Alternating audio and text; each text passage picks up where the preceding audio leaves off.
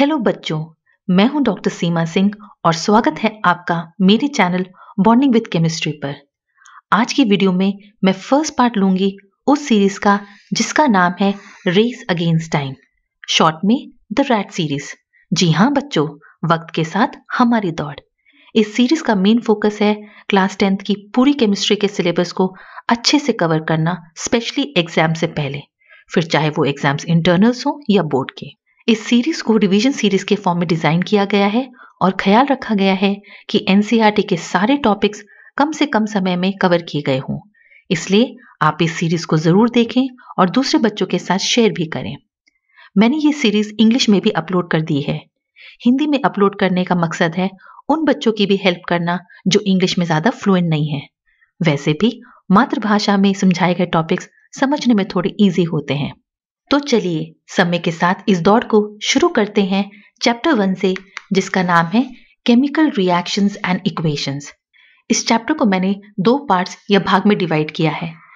पहले भाग में हम सीखेंगे कि केमिकल इक्वेशन क्या है, कैसे लिखी जाती है और कैसे उसे बैलेंस किया जाता है। That is how to write and balance a chemical equation दूसरे भाग में हम डिफरेंट टाइप्स के रिएक्शंस के बारे में पढ़ेंगे, जो हैं combination reaction exothermic reaction decomposition reaction endothermic reaction displacement and double displacement reaction and finally oxidation reduction reaction तो आइए जानते हैं केमिकल रिएक्शन क्या होते हैं। What is a chemical reaction it is a chemical change in which new substances with new properties are formed कुछ examples या उदाहरणों से इसकी डेफिनेशन को समझते हैं। कर्डलिंग ऑफ़ मिल्क यानी कि दूध का फटना। बच्चों, मुझे पूरा यकीन है कि आप सभी ने यह प्रोसेस कभी ना कभी ज़रूर देखा होगा। आमतौर पर दूध ज़्यादातर अपने आप गर्मी में फटता है, जब हम उसे समय से उबालते नहीं या फ्रिज में रखना भूल जाते हैं। हम कहते हैं दूध खराब हो गया या फट गया। फटने के बाद दूध गाढ़ा हो जाता है और दही जैसा दिखने लगता है और उसका स्वाद भी पहले जैसा नहीं होता। क्या आप फटे हुए दूध को वापस दूध में कन्वर्ट या परिवर्तित कर सकते हैं? नहीं। इसलिए कर्टलिंग ऑफ़ मिल्क एक केमिकल प्रोसेस है, जो कि इरिवर्सिबल है, क्योंकि new substance with new properties form होता है। उसी तरह से डाइजेशन ऑफ़ फ़ूड भी एग्ज़ाम्पल है केमिकल प्रोसेस का, क्योंकि हम फ़ूड लेते हैं कार्बोहाइड्रेट्स फैट्स और प्रोटीन्स के फॉर्म में, और डाइजेशन का प्रोसेस यानी कि पाचन क्रिया उसे कन्वर्ट करता है न्यू सब्सटेंसेस जैसे कि ग्लूकोज अमीनो एसिड एक्सेट्रा में। यही ग्लूकोज रेस्पिरेशन यानी श्वसन के दौरान कन्वर्ट होता है कार्बन डाइऑक्साइड और वाटर में, यानी कि नए सब्सटेंसेस बन गए। उसी तरह से जब हम कोल और पेट्रोलियम को जलाते हैं that means we burn fossil fuels coal और पेट्रोलियम आपके फॉजिल फ्यूल्स हैं तो new substance with new properties generate होते हैं। यहाँ तक कि जब खाना पकता है, तब भी केमिकल रिएक्शन होता है। उदाहरण के तौर पर, जब आप अंडे को गर्म फ्राइंग पैन पर फोड़ कर डालते हो तो एग की प्रॉपर्टी चेंज हो जाती है। इन सभी एग्जाम्पल्स में new substances with new properties are produced और उन न्यू सब्सटेंसेस को पुराने या शुरू के सब्सटेंस में वापस कन्वर्ट करना पॉसिबल नहीं एक्सेप्ट कुछ केसेस में जिनके बारे में आप हर क्लासेस में पढ़ेंगे। Hence we define chemical reaction as a chemical change in which new substances with new properties are formed and they are generally irreversible और परमानेंट इन नेचर अब हमें कैसे पता लगता है कि केमिकल रिएक्शन हुआ? केमिकल रिएक्शन को आइडेंटिफाई करते हैं by observing change in state colour temperature या रिलीज़ ऑफ़ गैस से. फॉर एग्ज़ाम्पल जब हम मैग्नीशियम रिबन को एयर में बंद करते हैं तो वो व्हाइट कलर के कंपाउंड में कन्वर्ट हो जाता है या परिवर्तित हो जाता है और उस कंपाउंड का नाम है मैग्नीशियम ऑक्साइड यानी इस रिएक्शन में चेंज ऑफ़ स्टेट होता है और जो नया कंपाउंड बना, यानी कि मैग्नीशियम ऑक्साइड उसकी प्रॉपर्टी इनिशियल सब्सटेंस मैग्नीशियम से अलग है and hence it is a chemical reaction my dear students अगली वीडियो में मैं इस चैप्टर की सारी एक्टिविटीज़ जो कि टोटल 11 है डिटेल में समझाऊँगी। और उससे रिलेटेड प्रैक्टिकल बेस्ड क्वेश्चन भी हम करेंगे, जिससे कि आपकी इस चैप्टर की तैयारी एग्ज़ाम के लिए पूरी हो जाएगी। इसलिए प्लीज़ मेरे चैनल को सब्सक्राइब कीजिए और बेल बटन भी दबाइए, जिससे जब भी मैं नई वीडियो अपलोड करूँगी, आपको तुरंत सूचना मिलेगी। चलिए टॉपिक को कंटिन्यू करते हैं। चेंज ऑफ़ कलर हम ऑब्ज़र्व कर पाते हैं रिएक्शन ऑफ़ लेड नाइट्रेट और पोटेशियम आयोडाइड में। ये दोनों के दोनों कंपाउंड कलरलेस हैं। जब हम इन दोनों को मिक्स करते हैं तो हमें एक नया कंपाउंड मिलता है, जो कि येलो कलर का होता है और जिसका नाम है लेड आयोडाइड वैसे ही, जब हम dilute sulphuric acid zinc granules पर डालते हैं तो आप ग्रैन्यूल्स के पास छोटे छोटे बबल्स ऑब्ज़र्व करते हैं। ये देख सकते हैं आप? जो कि सजेस्ट करते हैं कि कोई गैस इवॉल्व या रिलीज़ हुई है। जब हम उस गैस को टेस्ट करते हैं तो हमें पता चलता है कि वो गैस हाइड्रोजन गैस है। और अगर आप इस फ्लास्क को टच करेंगे तो आप ऑब्ज़र्व करेंगे कि ये गर्म हो गया है। जो सजेस्ट करता है कि reaction of zinc with dilute sulphuric acid में हीट इवॉल्व होती है, जो कि टेम्परेचर को इंक्रीज करती है। क्योंकि इन सभी एक्टिविटीज़ में या तो चेंज ऑफ़ स्टेट पाया जाता है, या तो कलर चेंज टेम्परेचर या इवोल्यूशन ऑफ़ गैस हम कह सकते हैं कि chemical reaction has taken place अब इस केमिकल रिएक्शन को रिप्रेजेंट कैसे करते हैं? I mean how do we represent a chemical reaction इसके लिए हम यूज़ करते हैं केमिकल इक्वेशन का।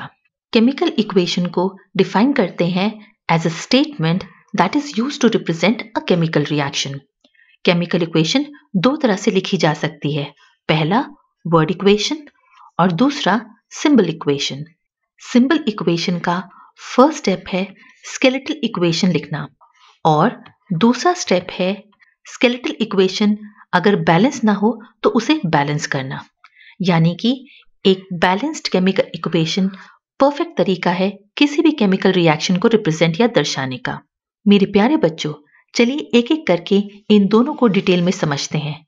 शुरू करते हैं वर्ड इक्वेशन से, जिसमें केमिकल रिएक्शन या जो सब्सटेंसेस उसमें इन्वॉल्व हैं वर्ड्स के थ्रू एक्सप्रेस किए जाते हैं या रिप्रेजेंट किए जाते हैं। तभी इसका नाम वर्ड इक्वेशन है। किसी भी रिएक्शन में दो कैटेगरीज के सब्सटेंसेस होते हैं नंबर वन रिएक्टेंट्स जिनको हम शॉर्ट में कैपिटल आर से डिनोट करेंगे। इनको हम डिफाइन करते हैं एज दो substances that undergo a chemical change in a reaction दूसरे सब्सटेंसेस होते हैं प्रोडक्ट्स जिन्हें हम कैपिटल पी से डिनोट करेंगे। और जिन्हें हम डिफाइन करते हैं the new substances that are formed during the reaction उदाहरण या एग्ज़ाम्पल के तौर पर बर्निंग ऑफ़ मैग्नीशियम रिबन के रिएक्शन को वर्ड इक्वेशन में इस तरह से लिखा जाता है। वर्ड इक्वेशन में एक एरो होती है। ये आपके एरो का हेड है और ये टेल ये एरो का लेफ़्ट हैंड साइड एल और ये वाला एरो का राइट हैंड साइड एरो के लेफ़्ट हैंड साइड में हम रिएक्टेंट्स लिखते हैं। अगर रिएक्टेंट एक से ज़्यादा हो, जैसे कि इस केस में है तो रिएक्टेंट्स के बीच में प्लस साइन का हम इस्तेमाल करेंगे या प्रयोग करेंगे। एरो के राइट हैंड साइड में प्रोडक्ट्स लिखे जाते हैं। और अगर ये भी एक से ज़्यादा हो तो उन प्रोडक्ट्स के बीच में प्लस साइन का आप यूज़ करेंगे। एरो हमेशा याद रखिए एरो हमेशा रिएक्टेंट से प्रोडक्ट की तरफ़ होना चाहिए, क्योंकि ये डायरेक्शन ऑफ़ रिएक्शन शो करती है। So I can say an arrow shows the change from reactants to products इस एरो को प्रोनाउंस कैसे करते हैं? हम इस एरो को बोलेंगे ईल्ड्स टू और गिव राइज टू इन दोनों में से गिव राइज टू ज़्यादा कॉमनली इस्तेमाल होता है। For example magnesium reacts with oxygen to give rise to या ईल्ड्स टू मैग्नीशियम ऑक्साइड दूसरा छोटा और यूजफुल मेथड केमिकल रिएक्शन को रिप्रेजेंट करने का है यूजिंग सिंबल इक्वेशन जिसको हम डिफाइन करते हैं a chemical change that is represented by using symbols and chemical formulae of substances that are involved in a reaction यानी कि reactants and products को symbols और formulae से represent करना symbol यूज़ करेंगे elements के लिए जैसे कॉपर के लिए Cu, मैग्नीशियम के लिए Mg, आयरन के लिए Fe ये सारे एलिमेंट्स हैं और फॉर्मूला करेंगे हम इस्तेमाल कंपाउंड्स के लिए जैसे वाटर के लिए H2O कार्बन डाइऑक्साइड के लिए सीओ टू ठीक है? चलिए वही पुराना एग्ज़ाम्पल लेते हैं बर्निंग ऑफ़ मैग्नीशियम रिबन जिसको वर्ड इक्वेशन से ऐसे रिप्रेजेंट किया था हमने। अभी इसके लिए हम सिंबल इक्वेशन लिखते हैं। वर्ड इक्वेशन की ही तरह एरो के लेफ़्ट हैंड साइड में रिएक्टेंट्स के सिंबल और राइट में प्रोडक्ट्स के सिंबल होंगे। तो मैग्नीशियम का सिंबल है एम और ऑक्सीजन का O2 बच्चों ध्यान रहे ऑक्सीजन एटॉमिक फॉर्म यानी कि ओ फॉर्म में हाईली अनस्टेबल होता है। इसलिए उसे मॉलिकुलर या डायटॉमिक दो एटम्स के फॉर्म में लिखा जाता है, यानी कि O2 अब क्योंकि हमारे पास एक से अधिक रिएक्टेंट्स हैं तो इसलिए हम दो रिएक्टेंट्स के बीच में प्लस साइन का प्रयोग करेंगे। प्रोडक्ट हमारा है मैग्नीशियम ऑक्साइड जिसका फॉर्मूला है MgO तो Mg plus O two give rise to या yields to magnesium oxide is the symbol equation for representing the reaction burning of magnesium ribbon in air.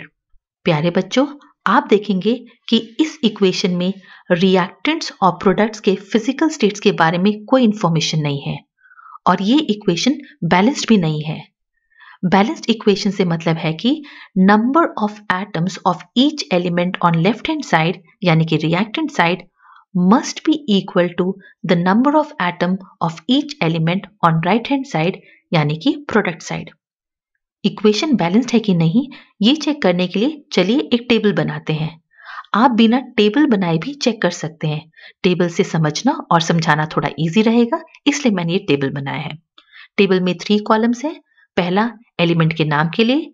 दूसरा लेफ़्ट हैंड साइड में हर एक element के total atoms और तीसरा right hand side में हर एक element के टोटल एटम्स के लिए।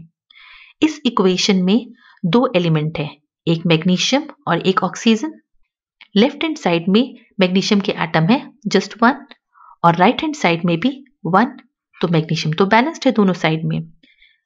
लेकिन ऑक्सीजन के एटम लेफ़्ट हैंड साइड में है टू और राइट हैंड साइड में यहाँ पे सिर्फ़ कोफिशियंट वन आएगा, जो कि हम नहीं दिखाते, ये है वन क्योंकि इस इक्वेशन में ऑक्सीजन एटम्स एल और RHS में बराबर नहीं है इक्वल नहीं है, ये इक्वेशन कहलाती है अनबैलेंस्ड इक्वेशन या स्केलेटल इक्वेशन तो बच्चों, इस अनबैलेंस्ड इक्वेशन में क्या कोई प्रॉब्लम है? जी हाँ unbalanced equation violates law of conservation of mass ऐसी इक्वेशन इस लॉ को ओबे नहीं करती।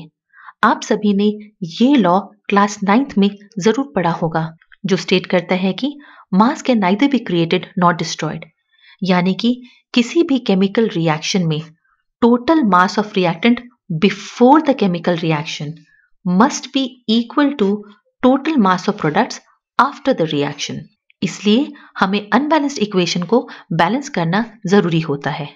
कभी कभी स्केलेटल इक्वेशन ऑलरेडी बैलेंस्ड होती है। For example reaction of zinc granules with sulphuric acid की स्केलेटल इक्वेशन है Zn plus H2SO4 give rise to ZnSO4 plus H2 अगर हम इसकी बैलेंसिंग चेक करें, इसके लिए फिर से टेबल बनाते हैं। एलिमेंट्स आप रिएक्टेंट साइड से काउंट कर सकते हैं या प्रोडक्ट साइड से, वो सेम होंगे, क्योंकि लॉ ऑफ़ कंजर्वेशन के according mass can neither be created not destroyed जो एलिमेंट रिएक्ट करेगा वो एलिमेंट प्रोडक्ट साइड में भी मिलेगा।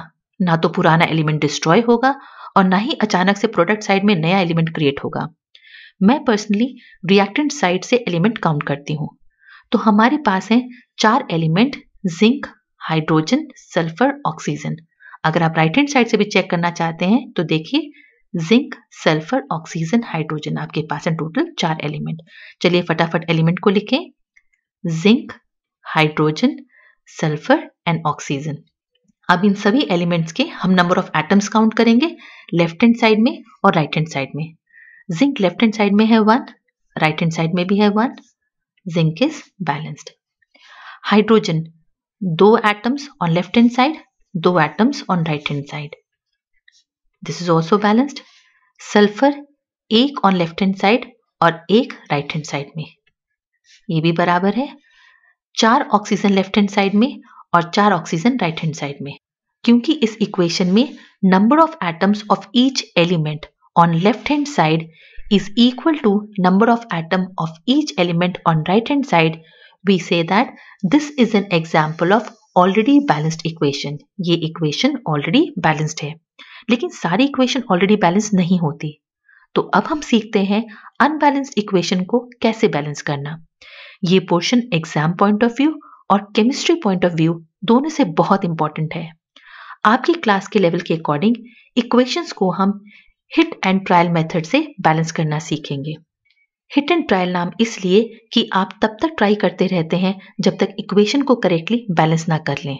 चलिए एक एग्ज़ाम्पल से इस मेथड को सीखते हैं। बैलेंसिंग का फ़र्स्ट और सबसे इंपॉर्टेंट स्टेप है किसी भी रिएक्शन की स्केलेटल इक्वेशन करेक्टली लिखना। इसके लिए रिएक्टेंट्स और प्रोडक्ट्स के सिंबल्स और फॉर्मूले ठीक होने चाहिए। क्योंकि अगर यही गलत लिखेंगे तो बैलेंसिंग तो गलत होगी ही। फॉर एग्ज़ाम्पल इस रिएक्शन के लिए हम स्केलेटल इक्वेशन लिखते हैं। रिएक्शन क्या है? Reaction of aqua solution of lead nitrate and potassium iodide to give rise to lead iodide and aqueous potassium nitrate यानी कि आपको lead nitrate potassium iodide lead iodide और पोटेशियम नाइट्रेट के फॉर्मूले करेक्टली लिखने आने चाहिए। मुझे यकीन है कि आपने क्लास नाइन में फॉर्मूले लिखना सीखा है।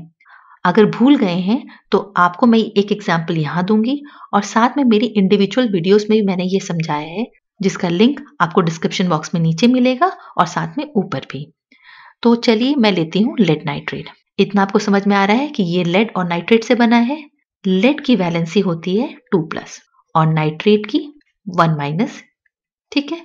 आप चाहें तो वन ना लिखें। अभी समझाने के लिए मैंने यहाँ पे वन लिखा है। आपको इन दोनों के सिंबल्स लिख लेने हैं और फिर इनकी वैलेंसीज को इंटरचेंज या क्रिस क्रॉस करना है। वन को यहाँ लेके आएँगे। कहा? ये कहते हैं आप सबस्क्रिप्ट और ऊपर वाले को सुपरस्क्रिप्ट। आप राइट हैंड साइड सिंबल के राइट हैंड साइड में लाएँगे एज ए सबस्क्रिप्ट इसको भी लेके जाइए राइट हैंड साइड में एज ए सबस्क्रिप्ट तो हो जाएगा पी बी अभी हम वन लिख रहे हैं, बाद में हटा देंगे।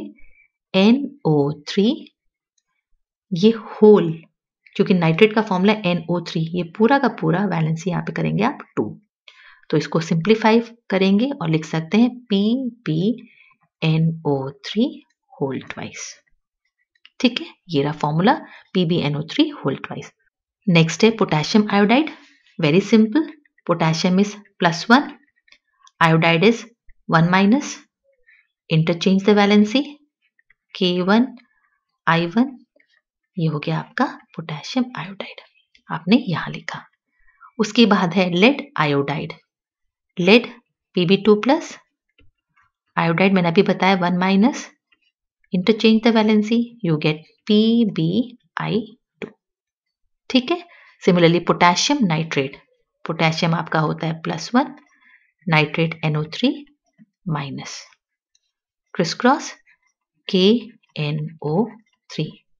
तो आपकी स्केलेटल इक्वेशन हुई PbNO3 whole twice plus K I give rise to PbI2 plus K NO three next step है एरो के दोनों साइड यानी कि रिएक्टेंट और प्रोडक्ट साइड के हर एलिमेंट के नंबर ऑफ़ एटम्स काउंट करना और उसे टेबल फॉर्म में नोट करना बच्चों, ध्यान रहे एग्ज़ाम में कोई आपसे स्टेप्स नहीं पूछेगा इसलिए इन्हें क्रैम करना या याद करना ज़रूरी बिल्कुल नहीं है।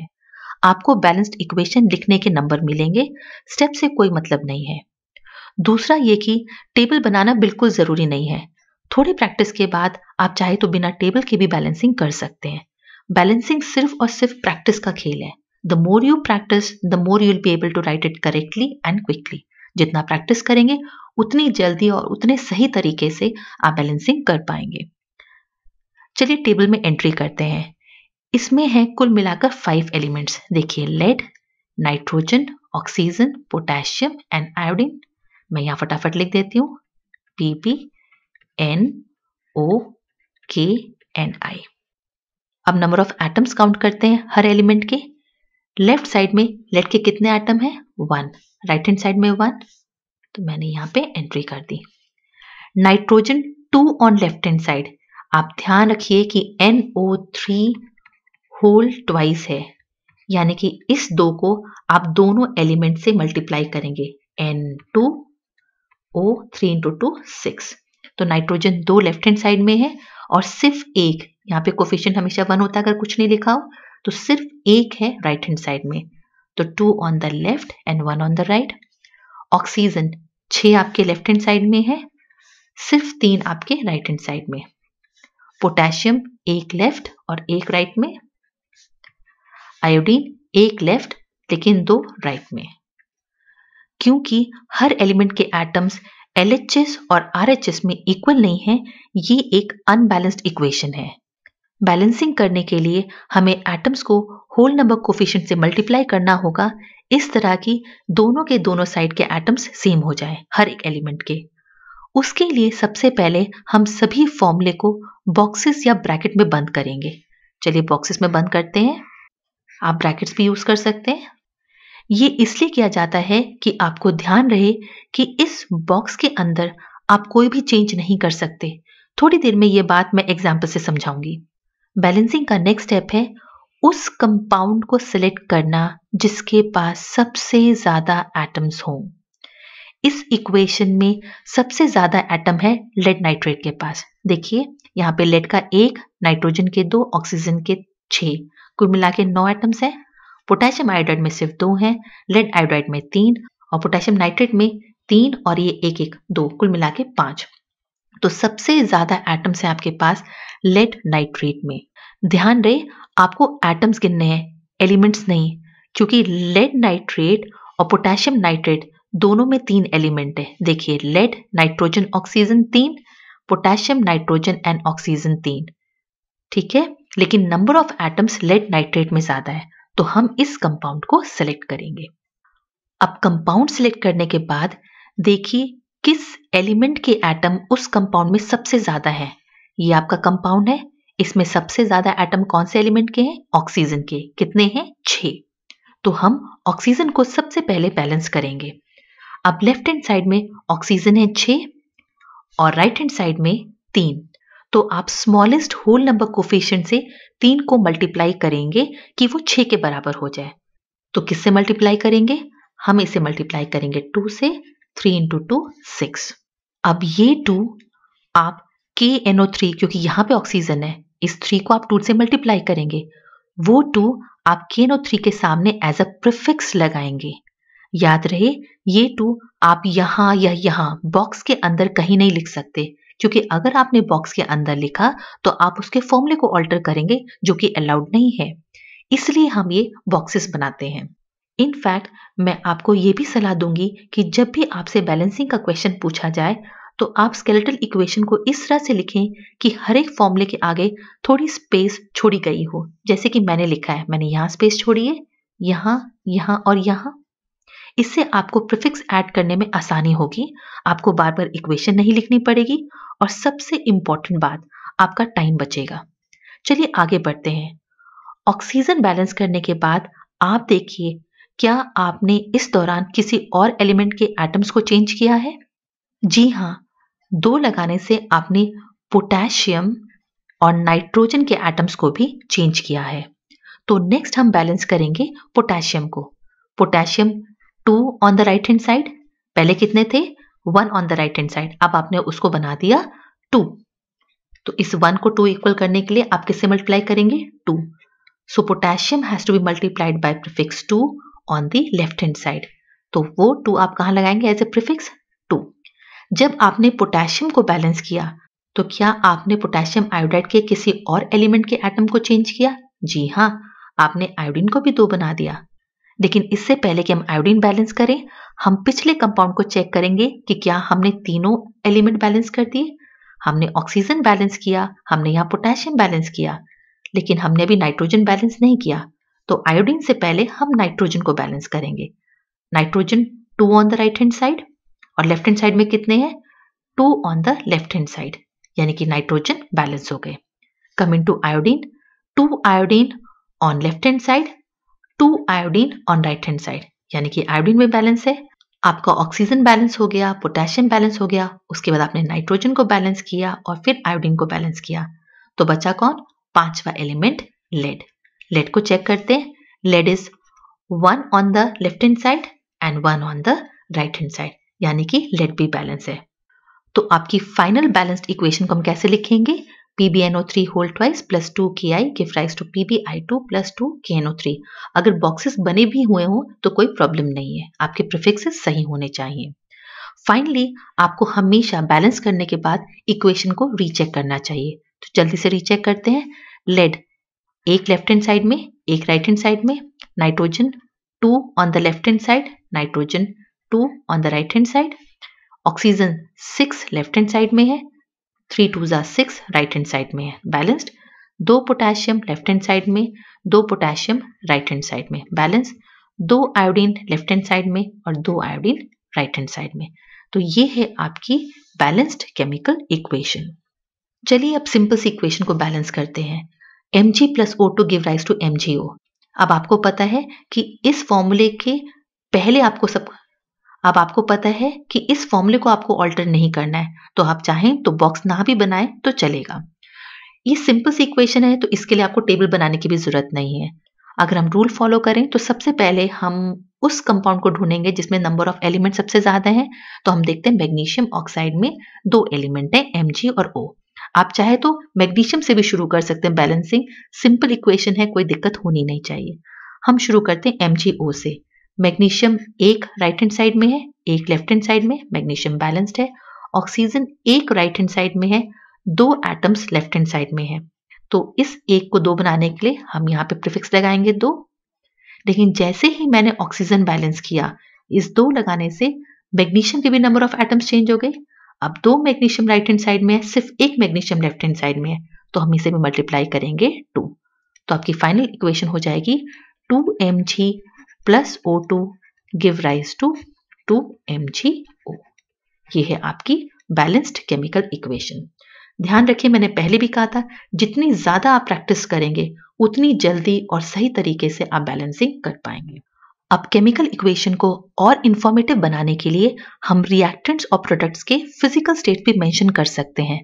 डिफरेंट फ़िज़िकल स्टेट्स के लिए नोटेशन है S for solid L for liquid G for gaseous state और ए क्यू आपका एक्वा स्टेट के लिए, यानी कि अगर रिएक्टेंट्स और प्रोडक्ट्स सोल्यूशन फॉर्म में प्रेजेंट हो वाटर में तो आप ए क्यू सिंबल का इस्तेमाल करेंगे। इन फ़िज़िकल स्टेट्स को सिंबल या फॉर्मूले के राइट हैंड साइड में स्मॉल या राउंड ब्रैकेट्स के अंदर लिखा जाता है। फॉर एग्ज़ाम्पल ये आपका मैग्नीशियम देखिए बर्निंग ऑफ़ सॉलिड मैग्नीशियम ये क्वेश्चन में भी बता रखा है कि मैग्नीशियम की फ़िज़िकल स्टेट है सॉलिड तो आप राउंड ब्रैकेट से स्मॉल ब्रैकेट में सिंबल के राइट हैंड साइड में लिख सकते हैं। ऑक्सीजन आपका गैसियस स्टेट में होता है। एम सॉलिड मैग्नीशियम ऑक्साइड तो ये आपका फ़िज़िकल स्टेट सॉलिड आपने इसको और इन्फॉर्मेटिव बना दिया। अब ऊपर वाले इक्वेशन के लिए भी लिखते हैं। Reaction of aqueous solution of lead nitrate and potassium iodide तो ये आपका एक्वस फॉर्म में है पोटेशियम आयोडाइड भी एक्वस फॉर्म में है। Give rise to solid lead iodide तो ये आपका सॉलिड फॉर्म है एंड एक्वस पोटेशियम नाइट्रेट ये एक्वस फॉर्म में प्यारे बच्चों, याद रहे कि आपकी क्लास लेवल के लिए ज़रूरी नहीं कि आप हमेशा फ़िज़िकल स्टेट्स लिखें। आप इन्हें छोड़ भी सकते हैं, जब तक इन्हें क्वेश्चन में पूछा या मांगा ना गया हो। कभी कभी रिएक्शन कंडीशंस जैसे कि टेम्परेचर हीट प्रेशर भी इक्वेशन में एरो के ऊपर दिखाए जाते हैं। For example calcium carbonate heat के प्रेजेंस में ब्रेक डाउन होता है कैल्शियम ऑक्साइड और कार्बन डाइऑक्साइड में। अब आप एरो के ऊपर या तो हीट लिखें। हीट को आप चाहे तो ग्रीक सिंबल डेल्टा से भी रिप्रेजेंट कर सकते हैं। तो रिएक्शन कंडीशन आपने कहा लिखी? एरो के ऊपर या नीचे। अब चलते हैं चैप्टर के दूसरे सेक्शन पर, जो है different types of chemical reactions dear students आप चाहें तो वीडियो को पॉज करके पाँच मिनट का थोड़ा सा ब्रेक ले सकते हैं। लेकिन इससे ज़्यादा नहीं। आखिरकार हमारे समय के साथ दौड़ जो चल रही है, और हमें हारना बिल्कुल नहीं है। ब्रेक के बाद आपका फिर से स्वागत है मेरे चैनल बॉन्डिंग विद केमिस्ट्री पर। चैनल सब्सक्राइब नहीं किया है तो प्लीज़ कीजिए। इस सेक्शन में हम एक एक करके इन सभी रिएक्शंस को डिटेल में पढ़ेंगे। शुरू करते हैं कॉम्बिनेशन रिएक्शन से। कॉम्बिनेशन का मीनिंग होता है जोड़ना। जब आप बहुत सारे टुकड़ों को एक साथ जोड़ते हैं तो हम कहते हैं हमने उसे कंबाइन किया। जैसे कि खाने में कोई डिश बनाने के लिए उसमें आप बहुत सारे इंग्रेडिएंट्स डालते हैं।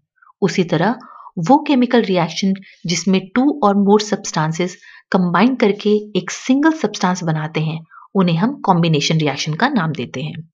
अगर मैं कॉम्बिनेशन रिएक्शन की जनरल इक्वेशन लिखूं तो ए प्लस पी दो रिएक्टेंट कंबाइन करके एक प्रोडक्ट बनाएँगे लेटस से ए बी अगर दो से ज़्यादा रिएक्टेंट हो तो मैं लिख सकती हूँ A plus B plus C ये तीनों कंबाइन करके आपको एक प्रोडक्ट देंगे उसका नाम हम लिख देते हैं A B C for example burning of magnesium ribbon जिसमें मैग्नीशियम और ऑक्सीजन कंबाइन करके एक प्रोडक्ट बनाते हैं, जिसको आप कहते हैं magnesium oxide combustion of coal में भी वही बात है।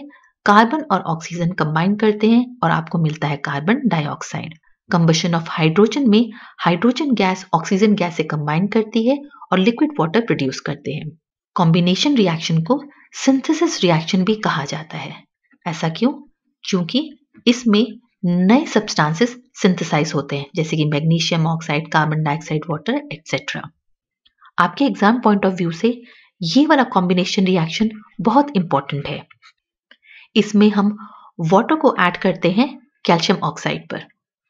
कैल्शियम ऑक्साइड को आप क्विक लाइम भी कहते हैं, या सिर्फ़ लाइम भी कहते हैं।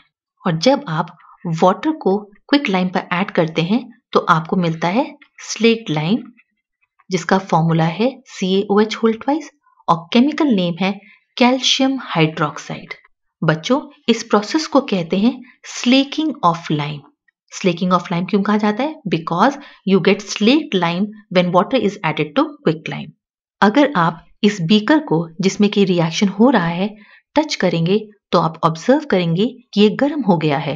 जो सजेस्ट करता है कि इस रिएक्शन में हीट इवॉल्व होती है, जो कि हम प्रोडक्ट साइड में दिखाते हैं। You have to write it as plus heat heat का सिंबल होता है डेल्टा तो आप चाहें तो डेल्टा से भी इसको दर्शा सकते हैं। इस कैल्शियम हाइड्रोक्साइड का aqua solution white washing of walls में यूज़ होता है, क्योंकि जब ये एटमॉस्फेयर में प्रेजेंट कार्बन डाइऑक्साइड के साथ रिएक्ट करता है तो कैल्शियम कार्बोनेट जिसे आप लाइमस्टोन या मार्बल के नाम से जानते हो ये बन जाता है इससे दो तीन दिन में वॉल्स में व्हाइट कलर का शाइनिंग कोटिंग देखने को मिलता है स्लेकिंग ऑफ़ लाइम एक एग्ज़ाम्पल है एक्सोथर्मिक रिएक्शन का जिन्हें हम डिफाइन करते हैं as those reaction in which heat is released or evolved along with the formation of products. For example, slaking of lime मैं already बता चुकी हूँ combustion of coal C plus O two give rise to carbon dioxide इसमें heat produce होती है, जिसको हम delta sign से दिखा रहे हैं प्रोडक्ट साइड में। कंबशन ऑफ़ हाइड्रोजन या फॉर्मेशन ऑफ़ वाटर इसमें भी हीट इवॉल्व हुई। कंबशन ऑफ़ नेचुरल गैस ये भी एक्सोथर्मिक रिएक्शन का एग्ज़ाम्पल है। हीट इवॉल्व होती है इसमें। तो इन जनरल हम कह सकते हैं all combustion reaction are exothermic in nature ध्यान रखें कि मैंने ऑल कंबशन रिएक्शन बोला है। कॉम्बिनेशन रिएक्शन नहीं।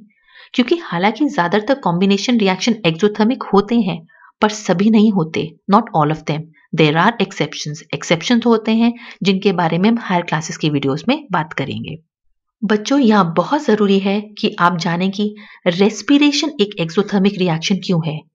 ये क्वेश्चन के फॉर्म में भी पूछा जा सकता है कि why respiration is considered as an exothermic reaction this is because respiration के प्रोसेस में ग्लूकोज जो कि कार्बोहाइड्रेट रिच फ़ूड खाने से बनता है, वो सेल्स में प्रेजेंट ऑक्सीजन के साथ कंबाइन करके कार्बन डाइऑक्साइड वाटर और एटीपी जिसका फुल फॉर्म है एडिनोसिन ट्राइफॉस्फेट प्रोड्यूस करता है। अब एटीपी को एनर्जी करेंसी ऑफ़ सेल कहा गया है।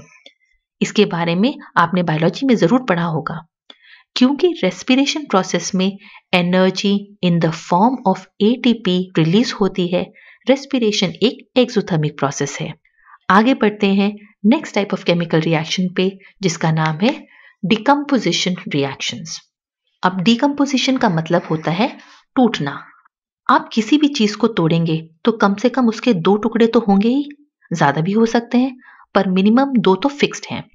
उसी तरह से अगर मेरे पास एक कंपाउंड है ए बी सी और अगर ये डिकम्पोज होता है तो डिफरेंट कॉम्बिनेशन हो सकते हैं। जैसे कि let me write again A B C ये A plus B plus C दे सकता है मुझे, ये ए बी प्लस सी दे सकता है डिकम्पोज होने पर ये ए सी प्लस बी भी दे सकता है, या बी सी प्लस ए तो इतने सारे डिफरेंट कॉम्बिनेशन हो सकते हैं, लेकिन सभी केसेस में मिनिमम टू प्रोडक्ट्स तो बने ही हैं, इसलिए we define decomposition reaction as a reaction in which a single compound यहाँ देखा आपने सिंगल कंपाउंड इस सिंगल कंपाउंड को क्या कहते हैं? रिएक्टेंट ब्रेक्स डाउन टूटता है to give two or more simpler substances known as products ठीक है? एग्ज़ाम्पल करते हैं. डिकम्पोजिशन ऑफ़ कैल्शियम कार्बोनेट जब कैल्शियम कार्बोनेट को हम डिकम्पोज करते हैं हीट के प्रेजेंस में तो ये टूट के क्या देखता है? कैल्शियम ऑक्साइड और carbon dioxide now decomposition reactions are opposite of combination reaction ये क्वेश्चन के फॉर्म में पूछा जा सकता है, ऐसा क्यों? Why are decomposition reaction opposite of combination reaction explain your answer with example हम कह सकते हैं कॉम्बिनेशन रिएक्शन में फॉर एग्ज़ाम्पल हमारा favourite example M G plus O two give rise to M G O मैं जल्दी से इसे बैलेंस कर देती हूँ टू एम जी और यहाँ पे टू एम जी ओ तो हम कॉम्बिनेशन रिएक्शन में देखते हैं कि दो या दो से अधिक इस केस में दो दो रिएक्टेंट्स ज्वाइन करके एक प्रोडक्ट देते हैं। लेकिन डिकम्पोजिशन रिएक्शन में एक रिएक्टेंट डिकम्पोज होकर दो या दो से अधिक प्रोडक्ट्स देता है। तो दोनों एक दूसरे के ऑपोजिट हुए। अब बच्चों, किसी भी चीज़ को तोड़ने के लिए आपको एनर्जी तो लगानी पड़ेगी। उसी तरह से डिकम्पोजिशन रिएक्शन में भी रिएक्टेंट्स को डिकम्पोज करने के लिए एनर्जी सप्लाई करनी पड़ती है। अब डिपेंडिंग कि आप एनर्जी किस फॉर्म में सप्लाई कर रहे हैं डिकम्पोजिशन रिएक्शन को हम तीन टाइप्स में डिवाइड करते हैं। ये है पहला, ये दूसरा और ये तीसरा। अगर एनर्जी आपने हीट के फॉर्म में सप्लाई की तो ऐसे डिकम्पोजिशन रिएक्शन को कहते हैं थर्मल डिकम्पोजिशन रिएक्शन अगर वही एनर्जी आपने इलेक्ट्रिक करंट के फॉर्म में सप्लाई की या इलेक्ट्रिसिटी के फॉर्म में सप्लाई की तो उस तरह के डिकम्पोजिशन रिएक्शन कहते हैं इलेक्ट्रोलिटिक या इलेक्ट्रिकल डिकम्पोजिशन रिएक्शन और अगर ये आपकी एनर्जी लाइट और आपके कोर्स में सनलाइट के फॉर्म में आपने सप्लाई की तो ऐसे डिकम्पोजिशन रिएक्शन को कहते हैं फोटोकेमिकल डिकम्पोजिशन रिएक्शन चलिए अब एक एक करके इनके बारे में पढ़ते हैं। शुरुआत करते हैं थर्मल डिकम्पोजिशन रिएक्शन को, जिसको डिफाइन किया गया है। Decomposition of a substance brought about by heating अगर हीट सप्लाई करने से डिकम्पोजिशन रिएक्शन होता है तो ऐसे डिकम्पोजिशन रिएक्शन कहते हैं थर्मल डिकम्पोजिशन रिएक्शन एग्ज़ाम्पल आपका decomposition of calcium carbonate C को आपने हीट सप्लाई की, आप चाहें तो हीट को डेल्टा सिंबल से रिप्रेजेंट कर सकते हैं, ये टूट के क्या देता है? Calcium oxide plus carbon dioxide बाकी दोनों एग्ज़ाम्पल बहुत इंपॉर्टेंट है कभी कभी ये बैलेंसिंग में पूछ सकते हैं कभी कभी रीजनिंग क्वेश्चन में भी आते हैं। पहला वाला देखते हैं decomposition of ferrous sulphate crystals जब लाइट ग्रीन कलर के फेरस सल्फेट के क्रिस्टल्स को हम हीट करते हैं तो वो डिकम्पोज होकर देता है रेडिश ब्राउन कलर का कंपाउंड जिसका नाम है फेरिक ऑक्साइड या आयरन थ्री ऑक्साइड इसमें जो इसकी वैलेंसी है, वो तीन है, या ऑक्सीडेशन स्टेट जिसके बारे में आप हर क्लासेस में पढ़ेंगे, वो थ्री है. तो इसलिए इसका नाम है फेरिक ऑक्साइड अगर ये टू होती तो होता फेरस ऑक्साइड साथ में ये देता है दो और प्रोडक्ट जो है सल्फ़र डाइऑक्साइड और सल्फ़र ट्राइऑक्साइड जिनकी स्मेल इरिटेटिंग और गले को चोक कर देने वाली होती है। इसी स्मेल से आप इन्हें आइडेंटिफाई भी कर सकते हैं। उसी तरह से जब लेड नाइट्रेट जो कि व्हाइट कलर का कंपाउंड है हीट किया जाता है तो वो देता है ऑक्सीजन गैस ब्राउन फ्यूम्स या धुआँ देने वाली गैस नाइट्रोजन डाइऑक्साइड और येलो कलर का कंपाउंड जिसका नाम है लेड ऑक्साइड प्यारे बच्चों, ध्यान रहे एग्ज़ाम में अगर बैलेंस्ड इक्वेशन पूछी जाती है, काफ़ी बार ये दोनों इक्वेशन बैलेंसिंग के लिए आती है।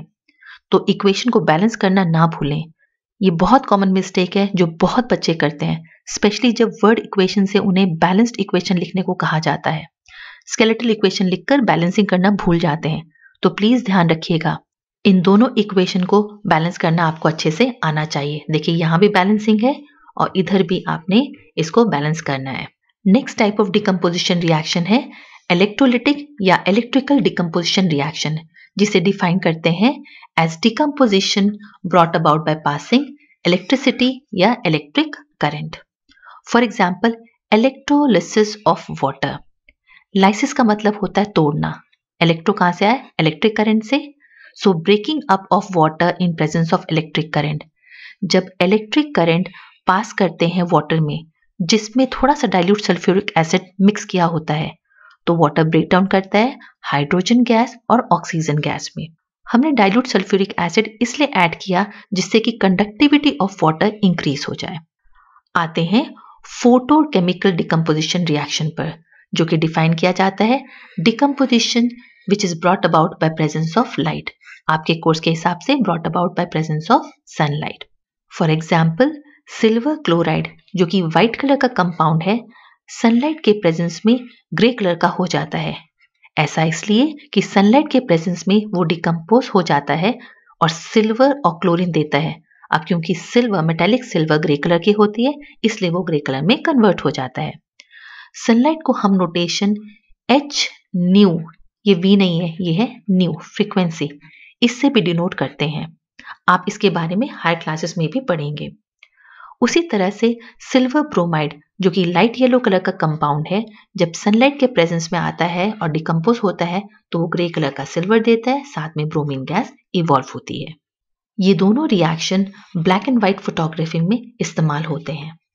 तो कभी इसकी एप्लीकेशन पूछी जाए तो आप लिख सकते हैं the reaction find use in black and white photography dear students आपने अभी देखा कि तीनों ही तरह के डिकम्पोजिशन रिएक्शन में, चाहे वो थर्मल डिकम्पोजिशन रिएक्शन हो, चाहे इलेक्ट्रिकल हो, चाहे फोटोकेमिकल हो एनर्जी इज़ सप्लाइड या absorb in the form of heat और इलेक्ट्रिक करंट और सनलाइट ऐसे रिएक्शन जिसमें हीट इज़ एब्सॉर्ब्ड ऐसे रिएक्शंस को हम कहते हैं endothermic reaction decomposition reaction examples हैं एंडोथर्मिक रिएक्शन के. मुझे यकीन है कि अब आप एग्जाम्पल्स के साथ एक्सोथर्मिक और एंडोथर्मिक रिएक्शंस को डिफ्रेंशिएट कर पाएँगे। बढ़ते हैं नेक्स्ट टाइप ऑफ़ रिएक्शन की तरफ़, जिनका नाम है डिस्प्लेसमेंट रिएक्शन इस रिएक्शन को सिंगल डिस्प्लेसमेंट रिएक्शन या सिंगल रिप्लेसमेंट रिएक्शन के नाम से भी जाना जाता है। इन रिएक्शंस को डिफाइन करते हैं as those reaction in which an element displaces another element from its compound in solution form इनके लिए जनरल इक्वेशन है A plus B C give rise to A C plus P देखिए, इसमें एक element यानी कि ए ने दूसरे एलिमेंट बी को उसके ही कंपाउंड जो कि एक्वस फॉर्म में प्रेजेंट हो, या सोल्यूशन फॉर्म में प्रेजेंट हो डिस्प्लेस कर दिया है, या उसकी जगह ले ली है, और आपको मिला नया कंपाउंड ए सी और वो एलिमेंट जिसको डिस्प्लेस या नॉकआउट कर दिया गया हो। एग्ज़ाम्पल से भी समझते हैं।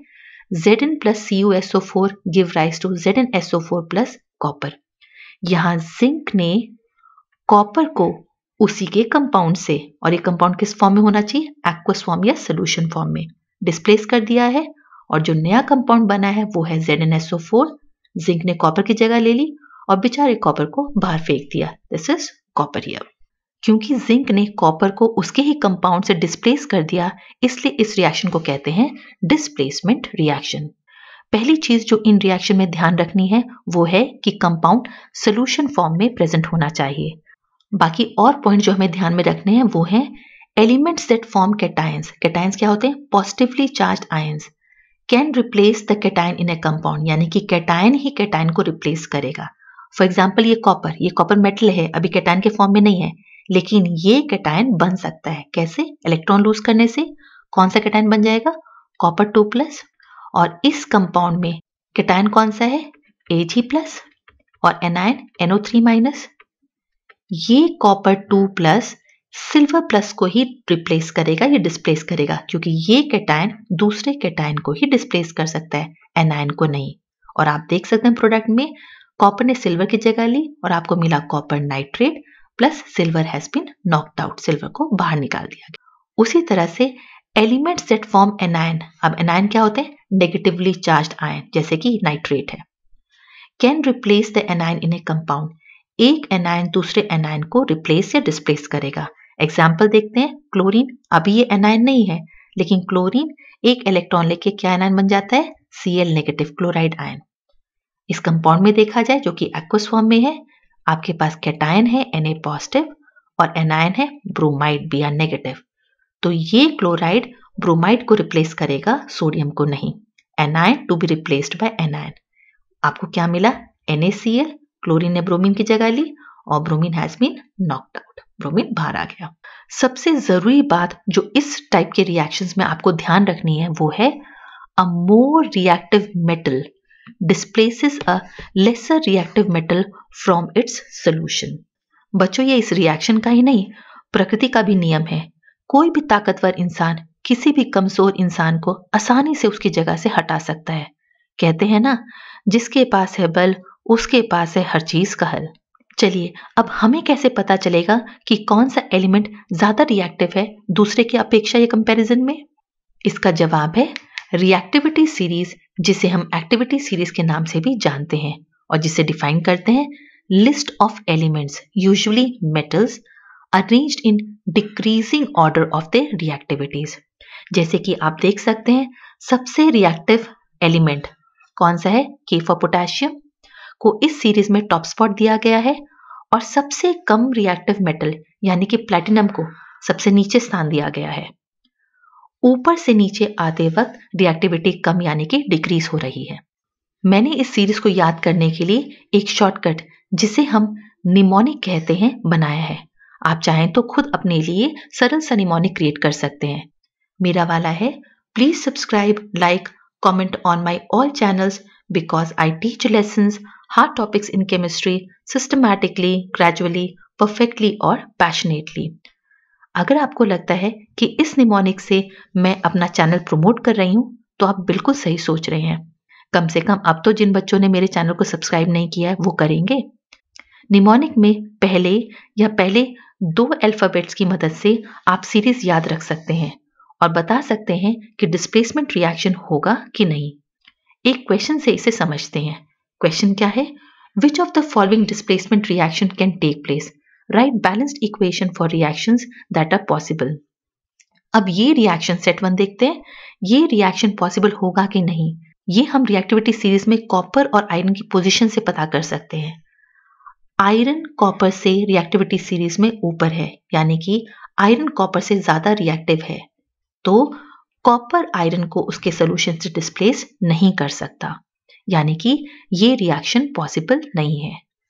दूसरा रिएक्शन जो कि वैसे वर्षा है, बिल्कुल पॉसिबल है, क्योंकि आयरन कॉपर से रिएक्टिविटी सीरीज़ में ऊपर है, यानी कि ज़्यादा रिएक्टिव है, वो कॉपर को उसके सोल्यूशन से आराम से डिस्प्लेस कर सकता है और हमें प्रोडक्ट में मिलेगा फेरस सल्फेट प्लस कॉपर आप इस रिएक्शन में ऑब्ज़र्व करेंगे कि कॉपर सल्फेट का ब्लू कलर आयरन सल्फेट के लाइट ग्रीन कलर से रिप्लेस हो गया है और सोल्यूशन में आपको रेडिश ब्राउन कलर का कॉपर डिपोजिशन दिखेगा। अब मैं चाहती हूँ बच्चों कि आप फटाफट सेकंड सेट को सॉल्व करें और अपना आंसर नीचे दिए गए कमेंट सेक्शन में ज़रूर लिखें। अगला टाइप ऑफ़ रिएक्शन है डबल डिस्प्लेसमेंट रिएक्शन जिसे हम डबल रिप्लेसमेंट रिएक्शन भी कहते हैं।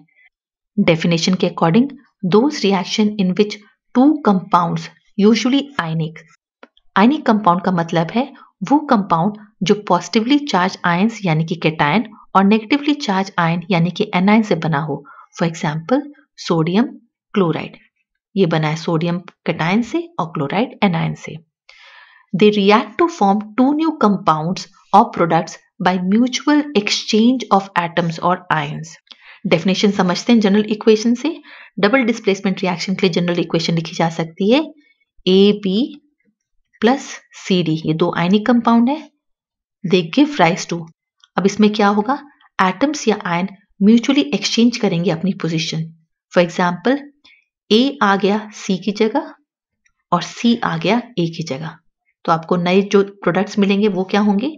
A D plus C P single displacement reaction की तरह इसमें भी एक केटायन अपनी पोजीशन केटायन के साथ ही एक्सचेंज करेगा या स्वाप करेगा.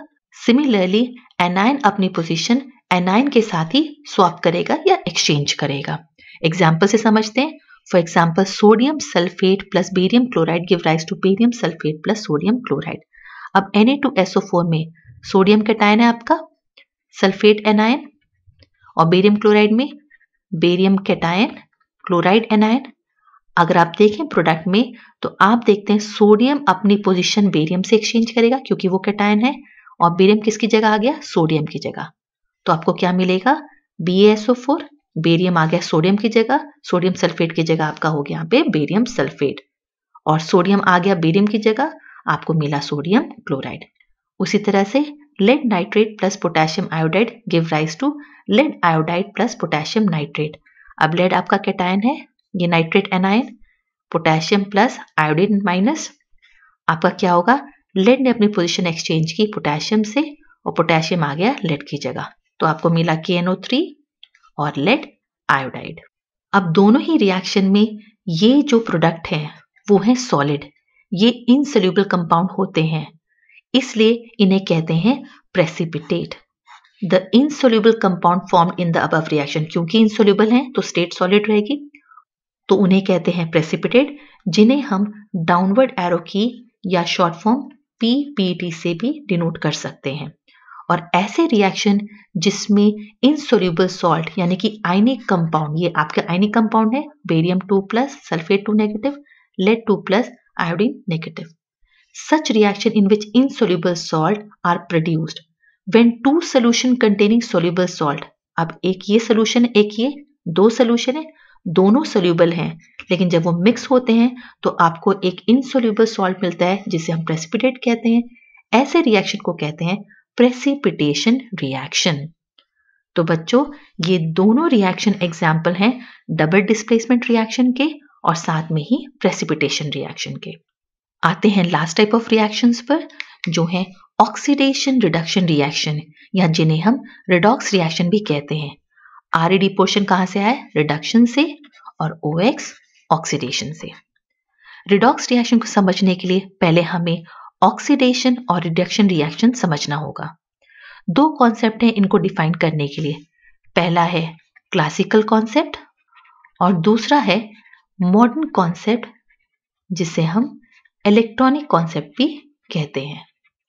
उसी तरह से रिडक्शन में ये दोनों है आपका क्लासिकल कॉन्सेप्ट और ये वाला है आपका मॉडर्न या इलेक्ट्रॉनिक कॉन्सेप्ट क्लासिकल कॉन्सेप्ट के according oxidation is defined as gain of oxygen या of hydrogen whereas reduction is defined as loss of oxygen और गेन ऑफ़ हाइड्रोजन और अगर हम इलेक्ट्रॉनिक कॉन्सेप्ट की बात करें तो oxidation is defined as loss of electrons versus reduction is defined as gain of electrons class ten के syllabus की बात करें तो सिर्फ़ आपके कोर्स में क्लासिकल कॉन्सेप्ट है। इसलिए हम इलेक्ट्रॉनिक कॉन्सेप्ट हाई क्लासेस की वीडियोस में पढ़ेंगे। जहाँ पर रिडॉक्स रिएक्शन एक टॉपिक नहीं, बल्कि एक कंप्लीट चैप्टर है। काफ़ी बार बच्चे दोनों की डेफिनेशन में कंफ्यूज हो जाते हैं। बच्चों, बड़ा सिंपल है। आप एक याद रखिए, दूसरा उसका ऑपोजिट है।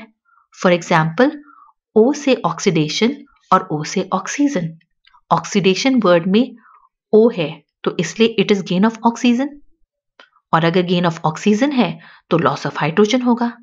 अब जब आपको ऑक्सीडेशन पता है तो रिडक्शन तो इसका उल्टा है। फिर भी यदि आप ये डेफिनेशन भूल जाते हैं that is either you remember this definition और आप एक शब्द याद रखिए, या तो डेफिनेशन याद रखिए, या एक शब्द जिसको कहते हैं गुल्लू। इस और का काफ़ी महत्व है। अब अल्फाबेटिकली ओ पहले आता है और आर बाद में ओ स्टैंड फॉर ऑक्सीडेशन और गुल्लू शब्द के तीन अल्फ़ाबेट ऑक्सीडेशन डिनोट करते हैं गेन ऑफ़ ऑक्सीजन आर मतलब रिडक्शन और आखिरी के तीन अल्फ़ाबेट डिनोट करते हैं रिडक्शन लॉस ऑफ़ ऑक्सीजन ये first three gain of oxygen which is oxidation next three loss of oxygen which is reduction अब अगर ये याद रहेगा तो बाकी तो आप हाइड्रोजन वाली डेफिनेशन जो कि वाइस वर्ष है, कर ही लेंगे. That is loss of hydrogen is oxidation and gain of hydrogen is reduction आप एक याद रखिए, दूसरा ऑटोमेटिकली आपको याद रहेगा। चलिए अब दोनों प्रोसेसेस को, यानी कि ऑक्सीडेशन और रिडक्शन को एग्ज़ाम्पल से समझते हैं।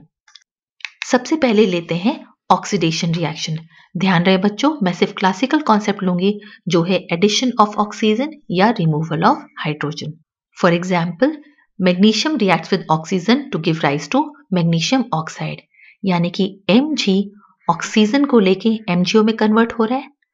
यानी कि ये है गेन ऑफ़ ऑक्सीजन और गेन ऑफ़ ऑक्सीजन क्या होता है? ऑक्सीडेशन और जो सब्सटेंस ऑक्सीजन लेकर, इसमें कौन सा सब्सटेंस है वो?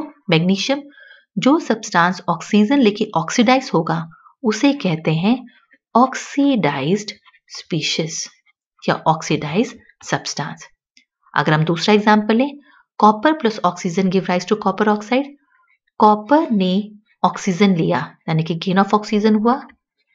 तो ये क्या अंडरगो कर रहा है? ऑक्सीडेशन और जो सब्सटेंस ऑक्सीजन ले कॉपर ले रहा है, उसे कहते हैं ऑक्सीडाइज्ड स्पीशी तीसरे एग्ज़ाम्पल में H2S किसमें कन्वर्ट हो रहा है? सल्फ़र में। कैसे कन्वर्ट हुआ? हाइड्रोजन को लूज करके। तो लॉस ऑफ़ हाइड्रोजन हुआ यहाँ पे। लॉस ऑफ़ हाइड्रोजन भी तो ऑक्सीडेशन है। और अगर हम ऑक्सीडाइज स्पीशी की डेफिनेशन देखें तो लिखा है the substance to which oxygen is added और from which hydrogen is remove तो ऑक्सीजन किसमें ऐड हुआ? मैग्नीशियम में कॉपर में तो ये आपकी ऑक्सीडाइज स्पीशी हो गई। और from which hydrogen is removed इस एग्ज़ाम्पल में किस स्पीशी से आपने हाइड्रोजन रिमूव किया? हाइड्रोजन सल्फाइड से। तो ये कौन सा स्पीशी हो गया? ऑक्सीडाइज्ड स्पीशीज तो वो सब्सटेंस जो ऑक्सीजन ले, या हाइड्रोजन दे। और खुद ऑक्सीडेशन अंडरगो करे, उसे कहते हैं ऑक्सीडाइज्ड स्पीशी अब बात करते हैं रिडक्शन रिएक्शन की, जो कि है एडिशन ऑफ़ हाइड्रोजन या रिमूवल ऑफ़ ऑक्सीजन एग्जाम्पल्स देखते हैं। पहले एग्ज़ाम्पल में हम देखते हैं H two plus S give rise to H two S sulphur ने हाइड्रोजन ऐड किया, यानी कि हम लिख सकते हैं यहाँ पे गेन ऑफ़ हाइड्रोजन यानी कि सल्फ़र ने हाइड्रोजन लिया। ये अंडरगो करेगा रिडक्शन फाइन और जो सब्सटेंस रिडक्शन अंडरगो करता है या हाइड्रोजन को ऐड करता है, वो हो जाता है रिड्यूस्ड स्पीशीज या रिड्यूस्ड सब्सटेंस नेक्स्ट एग्जांपल देखते हैं. Zinc oxide plus carbon give rise to Z N plus CO Z N O has converted into Z N कैसे कन्वर्ट हुआ? Loss of oxygen loss of oxygen भी क्या है? Reduction और वो substance जो ऑक्सीजन लूज करे, या तो हाइड्रोजन गेन करे या ऑक्सीजन लूज करे। दोनों ही केस में रिडक्शन हो रहा है। उस सब्सटेंस को क्या कहेंगे? रिड्यूस्ड स्पीशी एक बार डेफिनेशन भी देख लेते हैं। The substance to which hydrogen is added sulphur में हाइड्रोजन ऐड हुई, वो रिडक्शन अंडरगो करता है। या from which oxygen is removed zinc oxide से आपने ऑक्सीजन रिमूव की it underwent reduction such species are known as reduced species as they have undergone reduction तो जेड एन ओ और सल्फ़र आपके कैसे स्पीशीज हैं? रिड्यूस्ड स्पीशी अब जब हमें ऑक्सीडेशन रिडक्शन समझ आ गया है तो देखते हैं रिडॉक्स रिएक्शन क्या होते हैं। रिडॉक्स रिएक्शन वो रिएक्शन है जिसमें ऑक्सीडेशन और रिडक्शन एक साथ होते हैं। दैट मीन्स साइमल्टेनियसली होते हैं। ध्यान रहे मेरे प्यारे बच्चों ऑक्सीडेशन और रिडक्शन कभी अकेले अकेले नहीं हो सकते। अगर किसी रिएक्शन में ऑक्सीडेशन हो रहा है तो उसी रिएक्शन में रिडक्शन भी साथ में हो रहा होगा। अगर एक सब्सटेंस ऑक्सीडाइज हो रहा है तो दूसरा रिड्यूस ज़रूर होगा। For example Z N O plus carbon give rise to Z N plus CO अभी हमने इस रिएक्शन का सिर्फ़ रिडक्शन पार्ट देखा था। अब देखते हैं कि ये रिडॉक्स रिएक्शन कैसे है। जेड एन ओ किसमें कन्वर्ट हो रहा है? जिंक में। कैसे हो रहा है? लॉस ऑफ़ ऑक्सीजन और लॉस ऑफ़ ऑक्सीजन क्या है? आपका रिडक्शन कार्बन को देखिए। कार्बन कन्वर्ट हो रहा है कार्बन मोनोऑक्साइड में। कैसे? गेन ऑफ़ ऑक्सीजन इसे कहते हैं हम ऑक्सीडेशन क्योंकि इस रिएक्शन के अंदर रिडक्शन और ऑक्सीडेशन दोनों एक साथ हो रहे हैं। ये कैसा एग्ज़ाम्पल हुआ? ये रिडॉक्स रिएक्शन का एग्ज़ाम्पल हुआ। तो जिंक ऑक्साइड ने ऑक्सीजन दिया कार्बन ने ऑक्सीजन लिया। कार्बन कन्वर्ट हुआ कार्बन मोनोऑक्साइड में और जिंक ऑक्साइड ने लूज करके किसमें कन्वर्ट कर लिया अपने आप को? जिंक में। चलिए नेक्स्ट एग्ज़ाम्पल देखते हैं। Give rise to C U plus H two O copper oxide किसमें कन्वर्ट हो रहा है? वो कन्वर्ट हो रहा है कॉपर में. कैसे हुआ? Loss of oxygen loss of oxygen क्या हुआ आपका?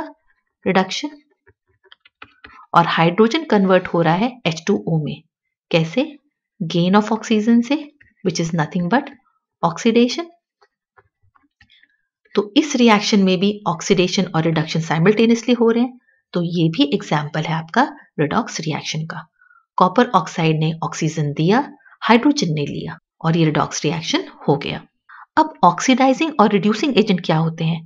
ये टॉपिक आपकी एनसीईआरटी में नहीं है बट एनसीईआरटी की एग्जाम्पलर बुक में इसके बेस पे क्वेश्चन हैं। क्योंकि ये काफ़ी सिंपल है, मैंने सोचा आपको समझाते हैं। अब इंश्योरेंस एजेंट कौन होता है? जो इंश्योरेंस करता है। ब्लीचिंग एजेंट क्या होता है? जो ब्लीच करता है। उसी तरीके से ऑक्सीडाइजिंग एजेंट वो होता है जो किसी सब्सटेंस को ऑक्सीडाइज करता है। अब किसी सब्सटेंस को ऑक्सीडाइज करने के लिए क्या होना चाहिए उसके पास? ऑक्सीजन होना चाहिए। अगर कोई सब्सटेंस किसी को ऑक्सीजन दे पाएगा तो वो सब्सटेंस तो ऑक्सीडाइज हो जाएगा। तो ऐसे एजेंट को कहेंगे ऑक्सीडाइजिंग एजेंट एग्ज़ाम्पल से समझते हैं। इस एग्ज़ाम्पल को देखते हैं। जिंक ऑक्साइड क्या अंडरगो करा था रिडक्शन और कार्बन अंडरगो करा था ऑक्सीडेशन कार्बन ऑक्सीडेशन कैसे अंडरगो करेगा? जब उसे ऑक्सीजन मिलेगा? कौन उसे मदद कर रहा है ऑक्सीडाइज होने में? जिंक ऑक्साइड जिंक ऑक्साइड ने अपना ऑक्सीजन दिया कार्बन को और उसका ऑक्सीडेशन कॉज किया। क्योंकि उसने कार्बन का ऑक्सीडेशन कॉज किया, उसे कहते हैं ऑक्सीडाइजिंग एजेंट या ऑक्सीडेंट और अगर इसने अपना ऑक्सीजन इसको दे दिया तो क्या अंडरगो कर रहा है? रिडक्शन तो ऑक्सीडाइजिंग एजेंट ऑक्सीजन देके खुद क्या हो जाएगा? रिड्यूस हो जाएगा। तो क्या मैं कह सकती हूँ? Your reduce species is an oxidising agent अगर आप ये पूरा कॉन्सेप्ट भूल जाएँ तो सिंपली याद रखें, जो रिड्यूस्ड स्पीशी होगा, वो कैसे रिड्यूस होगा? ऑक्सीजन लूज करके? किसी को तो देगा ना? तो किसी का ऑक्सीडेशन कॉज करेगा और खुद रिड्यूस हो जाएगा। तो कैसा एजेंट है? ऑक्सीडाइजिंग एजेंट बस ध्यान रखिए वाइसी वर्षा ये आर है, ये ओ और याद रखिए हमेशा। Reduce species is always an oxidising agent similarly reducing agent क्या होता है? जो रिडक्शन कॉज कर दे। अब वो रिडक्शन कैसे कॉज करेगा? मान लीजिए एच टू हम कह रहे हैं ये रिड्यूसिंग एजेंट है। कैसे? ये इसका रिडक्शन कॉज करता है। कैसे कॉज करेगा? इससे ऑक्सीजन ले लेगा। जब इससे ऑक्सीजन ले लेगा तो इसका रिडक्शन कॉज किया इसने। तो इसे कहते हैं हाइड्रोजन को रिड्यूसिंग एजेंट या रिडक्टेंट और अगर ये इसका ऑक्सीजन ले लेगा तो खुद क्या अंडरगो करेगा? ऑक्सीडेशन है ना? और ये हो जाएगा कैसा? ये है आपका रिड्यूसिंग एजेंट और खुद क्या अंडरगो कर रहा है? ऑक्सीडेशन और जो स्पीशी ऑक्सीडेशन अंडरगो करे, वो कैसा स्पीशी है? ऑक्सीडाइज स्पीशी तो याद रखिए ऑक्सीडाइज्ड स्पीशी क्या रहेगा आपका हमेशा? रिड्यूसिंग एजेंट क्यों? क्योंकि ऑक्सीडाइज होने के लिए वो दूसरे स्पीशी से क्या लेगा? ऑक्सीजन लेगा। और अगर वो ऑक्सीजन ले रहा है तो क्या कॉज करेगा उस स्पीशी का? रिडक्शन तो ऑक्सीडाइज स्पीशी एक्ट कैसे करेगा? रिड्यूसिंग एजेंट के फॉर्म में। यहाँ भी याद रखिए, और। हमेशा कॉम्बिनेशन होना चाहिए और का। Oxidise species reducing agent reduced species oxidising agent ठीक है? हमेशा आपको कॉम्बिनेशन रहेगा और का। चलिए अब जल्दी से इस चैप्टर के लास्ट टॉपिक को समझते हैं। Which is effect of oxidation reactions in everyday life देखिए ऑक्सीडेशन एक वरदान भी है और श्राप भी। अगर ऑक्सीडेशन ना हो तो रेस्पिरेशन का प्रोसेस नहीं होगा। बॉडी को एनर्जी कहाँ से मिलेगी? और वही ऑक्सीडेशन कारण है लोहे की चीज़ों में जंग लगने का, उसे कमज़ोर करने का, चाहे वो लोहे की पाइप्स हो या कार हो या एक्सेट्रा इस टॉपिक में हम दो बहुत कॉमन ऑक्सीडेशन के इफ़ेक्ट जो एवरीडे लाइफ में हम विटनेस करते हैं, उनके बारे में पढ़ेंगे। पहला है कॉरोजन और दूसरा है रैंसिडिटी जिसके बारे में हम थोड़ी देर में पढ़ेंगे। कॉरोजन को कैसे डिफाइन करते हैं? Corrosion is defined as the process of deterioration और डिग्रेडेशन ऑफ़ मेटल जब मेटल को अटैक किया जाता है किससे? बाय ऑक्सीजन मॉइस्चर या एसिड तो वो डिग्रेड होता है और उस प्रोसेस को कहते हैं कॉरोजन और जो मेटल कॉरोजन अंडरगो करता है, उसे कहते हैं वो कॉरोड हो गया है। जब आयरन मेटल कॉरोड होता है, उसे हम नाम देते हैं रस्टिंग का। इसमें आयरन सिंबल उसका एफ़ है। जब दोनों वाटर और ऑक्सीजन के कांटेक्ट में आता है तो उसके ऊपर रेडिश ब्राउन कलर की कोटिंग बनने लग जाती है, जिसे हम कहते हैं रस्ट केमिकली रस्ट का फॉर्मूला होता है F E two O three dot X H two O या dot N H two O जहाँ एक्स या एन क्या है? Unknown number of water molecules और इसका केमिकल नाम है हाइड्रेटेड हाइड्रेटेड मतलब पानी है उसमें। वाटर मॉलिक्यूल्स है ये हाइड्रेटेड फेरिक ऑक्साइड। फेरिक क्योंकि आयरन की वैलेंसी क्या है? Plus three. उसी तरह से metal such as silver copper magnesium का जब ऑक्सीडेशन होता है तो उनकी चमक कम हो जाती है। वी से द मेटल हैज़ टार्निश्ड और उस प्रोसेस को हम नाम देते हैं टार्निशिंग का। ज़रूरी नहीं ऑक्सीडेशन सिर्फ़ ऑक्सीजन करे। सिल्वर जब हाइड्रोजन सल्फाइड के कांटेक्ट में आता है तो वो काला पड़ जाता है। क्योंकि उस पर सिल्वर सल्फाइड की ब्लैक कोटिंग डेवलप हो जाती है। ये कोटिंग किस कलर की है? ये है ब्लैक कलर की कोटिंग। उसी तरह से कॉपर जब कार्बन डाइऑक्साइड और वाटर के कांटेक्ट में आता है तो उस पर ग्रीन कलर की कोटिंग बन जाती है। ये coating C U C three dot C O H होल्टवाइज की वजह से होती है, जिसे हम बेसिक कॉपर कार्बोनेट कहते हैं।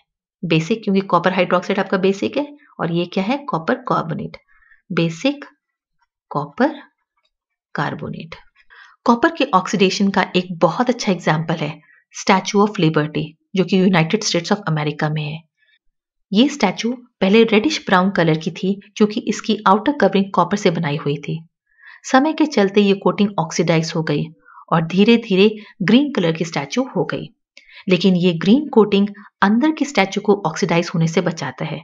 क्योंकि ये उसके ऊपर एक प्रोटेक्टिव कोटिंग की तरह काम करता है। जल्दी से कॉरोजन के हार्मफुल इफेक्ट्स पड़ते हैं।